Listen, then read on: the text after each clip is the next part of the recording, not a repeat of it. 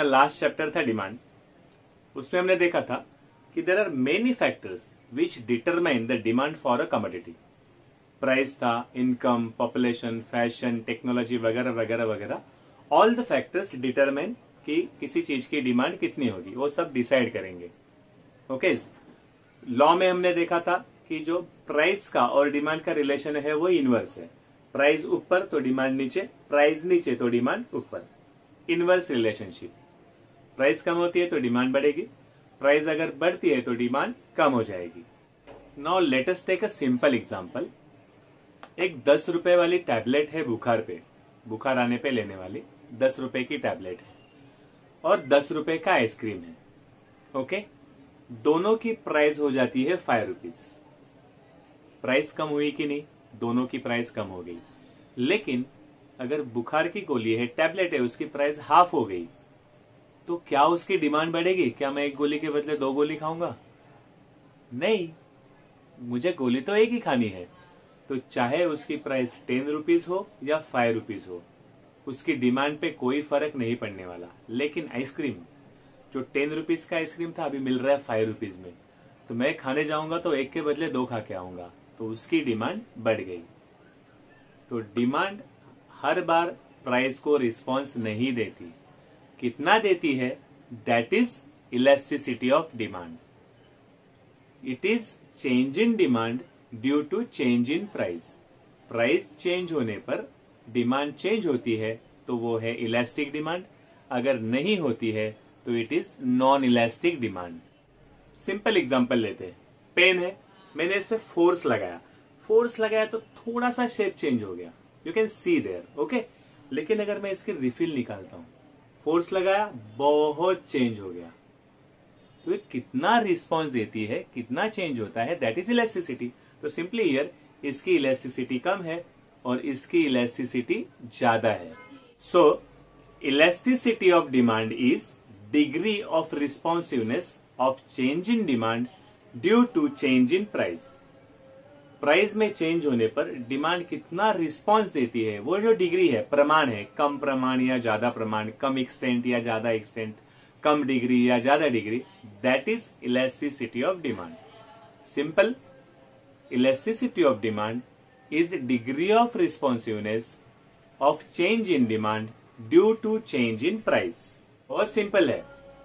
Elasticity of demand is degree of responsiveness कितना response दे रही है? ज़्यादा दे रही है, कम दे रही है? ज़्यादा डिग्री कम डिग्री तो electricity of demand is degree of responsiveness of quantity demanded to change in price price change होने पर डिमांड कितना चेंज होती है, वो है electricity of demand it is also called ratio of change in quantity demanded to change in price. So in this chapter, we are concentrating only on three things. Income elasticity, cross elasticity and price elasticity. मतलब income के change होने पर demand कितनी change होती है? That is income elasticity cross elasticity है चाय और कॉफ़ी तो चाय की प्राइस ऊपर नीचे जाएगी तो कॉफ़ी पे भी उसका असर पड़ने वाला है. दैट इज़ क्रॉस इलास्टिसिटी और तीसरा है प्राइस इलास्टिसिटी प्राइस ऊपर नीचे तो उसका डिमांड पे कितना असर पड़ेगा? दैट इज़ प्राइस इलास्टिसिटी तो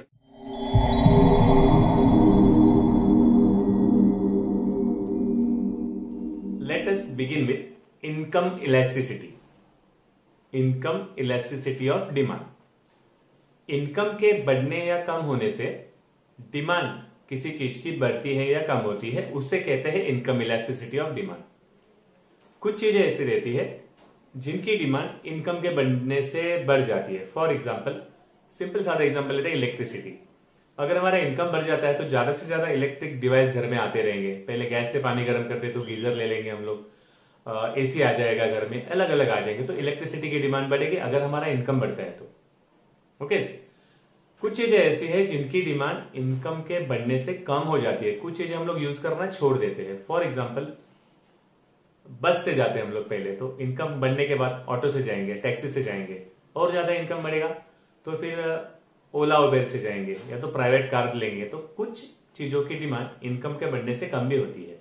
तो what is income elasticity of demand it is the degree of responsiveness कितना रिस्पॉन्स देती है, ज़्यादा डिग्री है, ज़्यादा दे रही है स्मॉल डिग्री है, कम दे रही है। It is the degree of responsiveness of change in quantity demanded demand की चेंज कितनी है? डिमांड कितना रिस्पॉन्स दे रही है? To change in income all other things remaining constant सिर्फ़ इनकम बदल रहा है तो डिमांड कितना रिस्पॉन्स दे रही है? डिमांड की डिग्री क्या है रिस्पॉन्स की? उसे कहते हैं इनकम इलास्टिसिटी ऑफ़ डिमांड तो what is income elasticity income elasticity is degree of responsiveness of change in quantity demanded आराम से degree of responsiveness of change in quantity demanded to change in income only all other factors including price remaining constant सिर्फ़ income के बदलने से demand कितना response देती है, उसे कहते हैं income elasticity of demand economics में हम लोग इनकम को डिनोट करते हैं वाई से। इनकम के लिए हम लोग वाई लिखते हैं। तो E Y is equal to percentage change in quantity demanded upon percentage change in income percentage का सिंबल पता है? ट्रायंगल का मीनिंग है स्मॉल चेंज डेल्टा मतलब small change Q is quantity demanded और वाई है इनकम तो सिंबलिकली परसेंटेज डेल्टा क्यू का मीनिंग है percentage change in quantity demanded upon percentage change in Y का मीनिंग है परसेंटेज चेंज इन इनकम तो E Y is equal to E Y is equal to percentage change in quantity demanded upon percentage change in income three types of income electricity of demand that is positive negative and zero positive income elasticity होती है, income बढ़ रहा है तो उन चीज़ों की demand भी बढ़ रही है। तो हम लोग बोलेंगे, ये गुड्स में पॉजिटिव इनकम इलास्टिसिटी है। नॉर्मल गुड्स है, कपड़े हैं हमारे। तो इनकम बढ़ेगा तो उनकी डिमांड बढ़ेगी, ज़्यादा हम लोग यूज़ करेंगे। ओके, नॉर्मल गुड्स के लिए। For normal goods, the income elasticity is positive. As our income increases, the demand for normal goods also increases. Simple.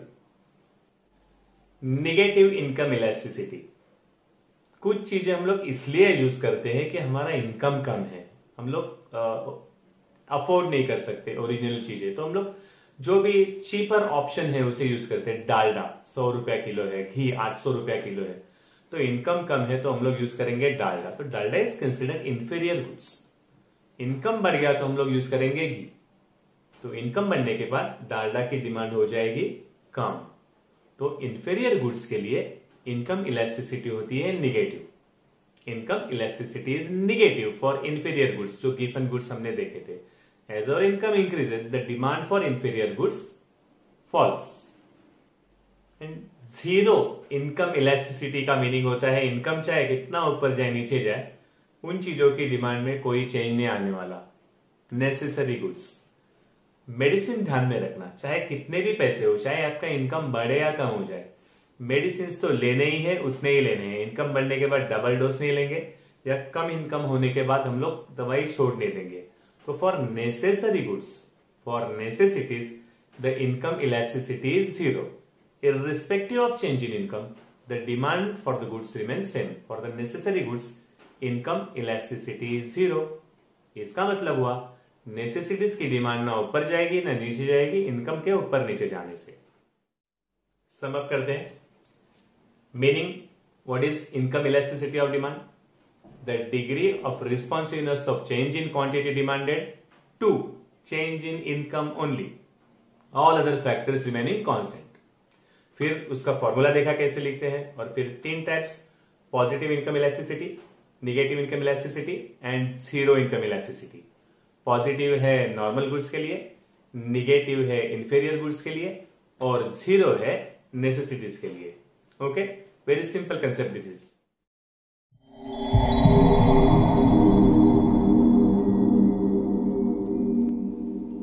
Now, we'll see what is cross elasticity of demand.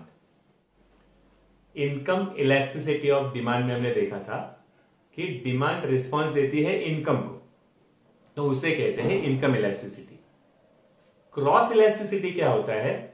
Commodity A है, कोई एक commodity है, उसकी price की वजह से नहीं, किसी और चीज़ की प्राइस की वजह से इसकी डिमांड चेंज हो जाती है।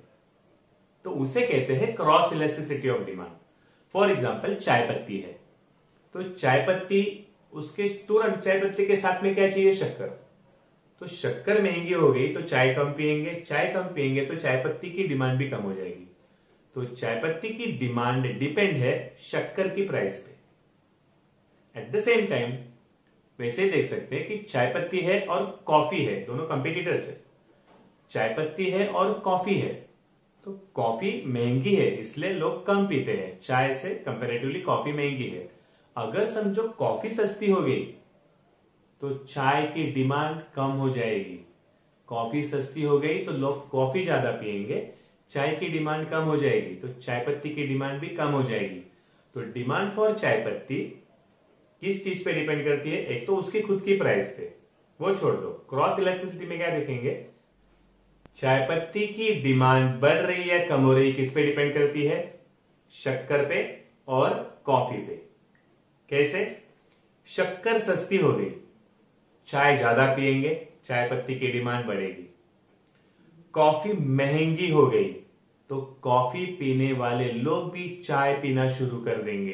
चाय की डिमांड बढ़ेगी। तो चाय पत्ती की डिमांड डिपेंड है शक्कर की प्राइस पे और कॉफ़ी की प्राइस पे। That is cross electricity of demand दिमाग में आ गया, सिर्फ़ अभी इंग्लिश में बताना है। It is very simple so what is cross electricity of demand it is change in quantity of one commodity due to change in price of other commodity चाहे वो कॉम्प्लीमेंट्री हो, शक्कर हो, चाहे वो सब्सिट्यूट हो कॉपी हो।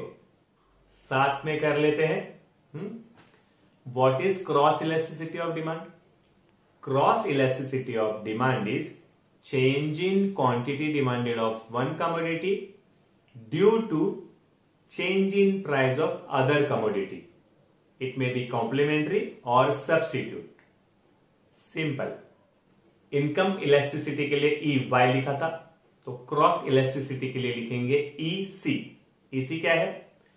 Percentage change in quantity demanded of A upon percentage change in price of B. B की प्राइस की चेंज की वजह से ए की डिमांड चेंज हो रही है। Percentage delta quantity of A upon percentage change price of B A की डिमांड चेंज हो रही है बी के प्राइस की वजह से। वेरी वेरी सिंपल फिर छोटा सा टॉपिक है types of cross elasticity simple सारी बात है, जो हमारे डायरेक्शन से जाती है। फॉर एग्ज़ाम्पल कॉफ़ी महँगी तो कॉफ़ी की डिमांड कम और मेरे चाय की डिमांड ज़्यादा। तो कॉफ़ी महँगी, मेरी डिमांड बढ़ेगी। तो उसको बोलते हैं पॉजिटिव क्रॉस इलेस्टिसिटी तो पॉजिटिव क्रॉस इलेस्टिसिटी किसकी रहेगी? सब्सिट्यूट के लिए। ओके कॉफ़ी सस्ती हो जाएगी तो लोग ज़्यादा कॉफ़ी पियेंगे, मेरे चाय के ग्राहक डिमांड कम हो जाएगी। तो कॉफ़ी जिस डायरेक्शन में जाएगी, मेरी डिमांड उसी डायरेक्शन में जाएगी।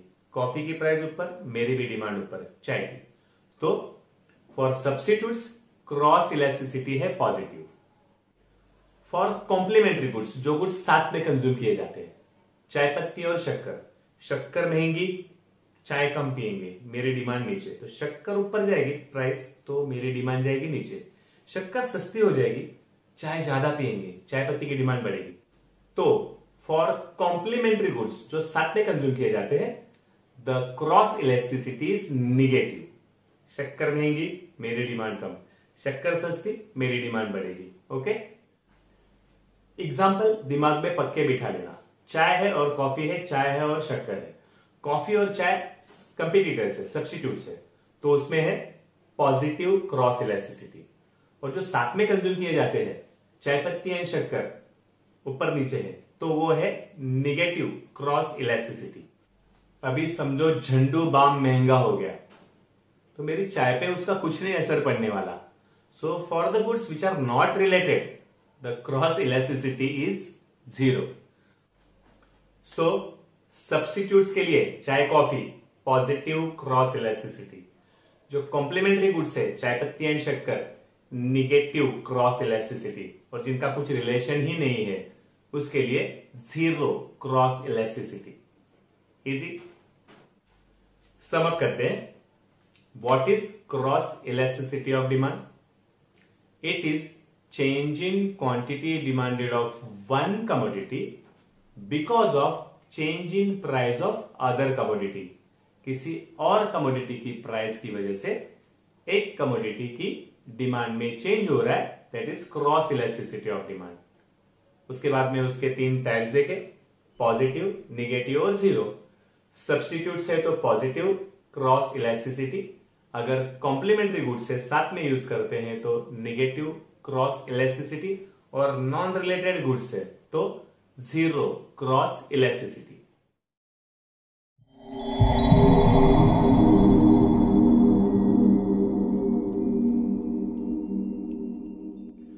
cross elasticity में हमने देखा था कि चाय पत्ती का एग्ज़ाम्पल लिया था कि शक्कर और कॉफ़ी के प्राइस की वजह से भी चाय पत्ती की डिमांड चेंज हो सकती है। आज देखेंगे उसी चीज़ की प्राइस की वजह से उसी चीज़ की डिमांड में जो चेंज आता है। मतलब किसी चीज़ की डिमांड रिस्पॉन्स देती है उसी की प्राइस को। That is price elasticity of demand for example कपड़े की दुकान है। डिस्काउंट दे दिया 50 परसेंट कितना दिया? 50 परसेंट तो डेली अगर उसके शॉप में 100 लोग आते हैं तो 50 परसेंट डिस्काउंट बोल दिया तो 500 लोग आ जाएँगे। तो डिस्काउंट दिया 50 परसेंट और डिमांड बढ़ गई 500 परसेंट सौ के बदले में 500 आ गए। ओके नमक का एग्ज़ाम्पल ले लो।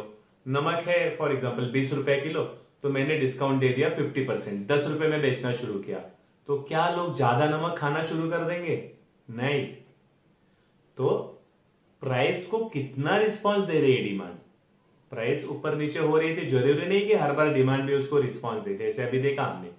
वैसे प्राइस को डिमांड कितना रिस्पॉन्स दे रही है, उसको बोलते हैं price elasticity of demand this definition was given by professor Alfred Marshall तो according to professor Alfred Marshall price elasticity of demand is ratio ratio है डिवीज़न भागाकार तो price elasticity of demand is ratio of proportionate change in quantity demanded to proportionate change in price.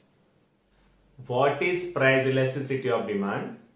According to Professor Alfred Marshall, price elasticity of demand is ratio of proportionate change in quantity demanded to proportionate change in price.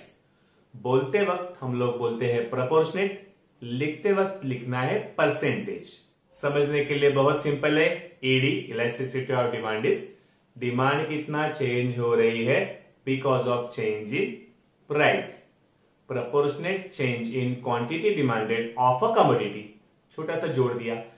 Proportionate change in quantity demanded of a commodity to proportionate change in price वो है price elasticity of demand symbols में कैसे लिखना है पता है? Percentage triangle okay तो percentage triangle Q upon percentage triangle P मतलब डिमांड में कितना चेंज हो रहा है बिकॉज़ ऑफ़ प्राइस में कितना चेंज हो रहा है। ट्रायंगल डिनोट करता है डेल्टा वो डिनोट करता है छोटा सा चेंज तो क्वांटिटी डिमांडेड में कितना चेंज हो रहा है? बिकॉज़ ऑफ़ प्राइस में कितना चेंज हो रहा है। वो है इलेस्टिसिटी ऑफ़ डिमांड उसके टाइप से पाँच। Perfectly elastic perfectly inelastic elastic और इन इलास्टिक मतलब नहीं elastic perfectly elastic perfectly inelastic unitary elastic relatively elastic relatively inelastic पाँच टाइप्स है इलास्टिसिटी ऑफ़ डिमांड टाइप्स बाय कर लेते हैं, बहुत सिंपल है तो बाद में समझने में भी आसानी होगी ओके परफेक्टली इलास्टिक थोड़ा पुश दे दिया तो भाग गई डिमांड मतलब थोड़ी सी प्राइस चेंज कर दी मैंने तो डिमांड बहुत बढ़ गई, बहुत इंफिनिट परफेक्टली इलास्टिक फिर परफेक्टली इन इलास्टिक कितना भी फोर्स लगाओ, कितनी भी प्राइस ऊपर नीचे करो डिमांड कोई रिस्पॉन्स नहीं दे रही है। फ़र्स्ट तो हो गए perfectly elastic demand and perfectly inelastic demand दिमाग में रख देना। क्या है? Perfectly elastic demand and perfectly inelastic demand तीसरा है यूनिटरी इलास्टिक डिमांड यूनिटरी का मीनिंग क्या हो गया? प्राइस टेन परसेंट कम तो डिमांड टेन परसेंट ज़्यादा बढ़ गई। प्राइस टेन परसेंट बढ़ गई तो डिमांड टेन परसेंट कम हो गई। उतनी ही same same equal okay proportional तो परफेक्टली इलास्टिक डिमांड प्राइस थोड़ी कम कर दो तो डिमांड भाग रही है। Perfectly inelastic demand price कितने भी ऊपर नीचे जाए, कुछ फ़र्क नहीं पड़ रहा। यूनिटरी इलास्टिक डिमांड जितनी प्राइस में चेंज उतना डिमांड में चेंज उसके बाद में रिलेटिवली इलास्टिक डिमांड और relatively inelastic demand price से ज़्यादा फ़र्क डिमांड में पड़ रहा है तो रिलेटिवली इलास्टिक डिमांड प्राइस से कम फ़र्क डिमांड में पड़ रहा है तो रिलेटिवली इन इनइलास्टिक डिमांड अगर टेबल में ड्रॉ करके देख लेते तो 10 परसेंट प्राइस कम हो गई इन्फिनिट मतलब कुछ एंड ही नहीं उसको डिमांड बढ़ गई perfectly elastic demand 10 percent price में कम हो गई डिमांड में कुछ फ़र्क ही नहीं पड़ रहा है. तो perfectly inelastic demand 10 percent price कम हो गई और 10 परसेंट डिमांड बढ़ गई तो unitary elastic demand okay 10 percent price कम हो गई और 20 परसेंट डिमांड बढ़ गई तो रिलेटिवली इलास्टिक डिमांड और लास्ट वाला 10 परसेंट प्राइस कम हो गई और सिर्फ़ 5 परसेंट डिमांड बढ़ गई तो relatively inelastic demand first two types now we have to write in English तो वी हैव टू समझना है इन इंग्लिश तो when slight change in price price में थोड़ा सा फ़र्क हो गया. एक हज़ार रुपए की चीज़ है, एक हज़ार तीन रुपए हो गई. तीन रुपए का ही फ़र्क. Okay that is slight change when slight change in price brings about infinite change in quantity demanded it is called as perfectly elastic demand when थोड़ा सा change in price slight change in price brings about infinite change in infinite मतलब endless उसका कुछ end ही नहीं। Infinite change in quantity demanded that is perfectly elastic demand diagram में दिख रहा है the demand curve is horizontal parallel to अपना एक्स एक्सिस ओके और फिर प्राइस कितना भी ऊपर नीचे जा रही है when change in price has no effect on quantity demanded price नीचे जाए उतनी ही डिमांड प्राइस ऊपर जाए उतनी ही demand perfectly inelastic demand first two क्या हो गए when slight change in price brings about infinite change in quantity demanded when slight change in price brings about infinite change in quantity demanded that is perfectly elastic demand okay when change in price has no effect on quantity demanded it is called as perfectly inelastic demand elastic perfectly elastic horizontal line perfectly elastic vertical line demand करो first दो clear हो गए first में ED is equal to infinity infinity okay और second में मतलब perfectly inelastic demand में ED is equal to zero कुछ चेंज ही नहीं। फिर थर्ड वाला इज़ यूनिटरी इलास्टिक डिमांड एक सेंटीमीटर नीचे, एक सेंटीमीटर आगे। एक सेंटीमीटर नीचे, एक सेंटीमीटर आगे। यूनिटरी तो when proportionate change, percentage change in price brings equal proportionate change in quantity demanded. 10% price कम तो 10% डिमांड बढ़ गई। When change in price brings about proportionate change Proportionate मतलब उतने ही प्रमाण में ten percent to ten percent twenty percent to twenty percent when change in price brings about proportionate change in quantity demanded that is called as unitary elastic demand first वाला perfectly elastic demand slight change in price infinite change in quantity demanded. Second wala perfectly inelastic demand, change in price, no change in quantity demanded. Third wala unitary मतलब same same unitary elastic demand 10% change in price, 10% change in quantity demanded. 20% change in price, 20% change in quantity demanded.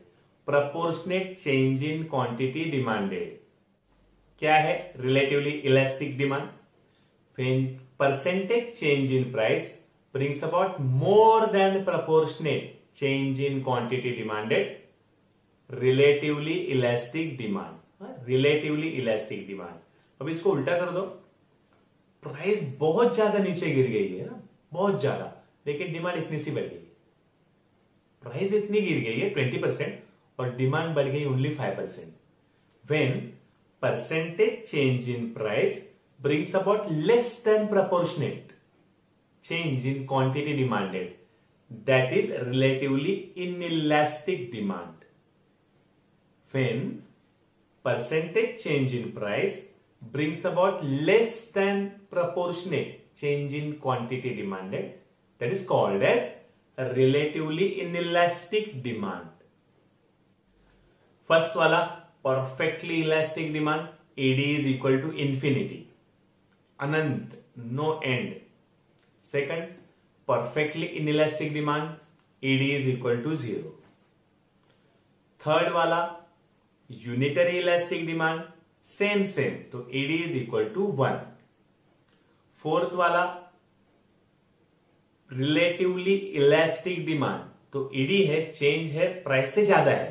तो ED is greater than one एक से ज़्यादा। और last वाला relatively inelastic demand ED is lesser than one ED one से कम।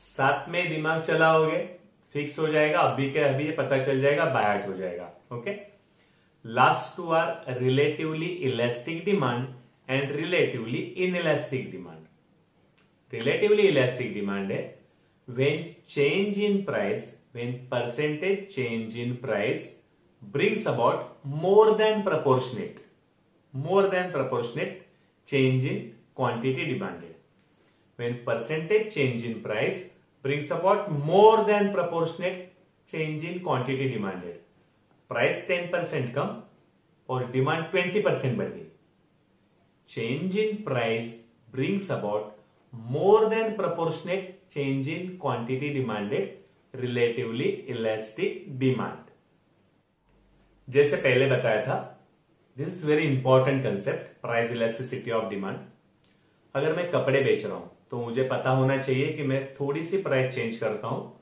तो मेरी demand बहुत ज़्यादा बढ़ने वाली है तो मैं प्राइस कम करूँगा और बेचूँगा। अगर मैं नमक बेच रहा हूँ तो मुझे पता चलना चाहिए कि मैं चाहे प्राइस कितनी भी कम करूँ, ग्राहक नहीं बढ़ने वाले तो मैं प्राइस नहीं कम करूँगा। तो this is very important concept ये समझ में आती है इकोनॉमिक्स में ये बहुत बहुत मायने रखती है। इस लेक्चर में आपको मीनिंग समझ में आ गया डायग्राम भी समझ में आ गया। नेक्स्ट लेक्चर रहेगा same thing how to write on paper ये सभी डायग्राम्स पेपर पे कैसे लिखने हैं? छोटे छोटे ऑब्जेक्टिव है, जो क्वेश्चन आने वाले हैं ट्रिकी क्वेश्चन उनमें कैसे दिमाग लगाना है लॉजिक कैसे लगाना है? तो नेक्स्ट लेक्चर इसी को कंटिन्यू करेंगे ऑन पेपर पेपर पे कैसे ड्रॉ करना है, पेपर पे कैसे लिखना है और एक साथ पाँचों टाइप्स कैसे करने हैं ओके okay?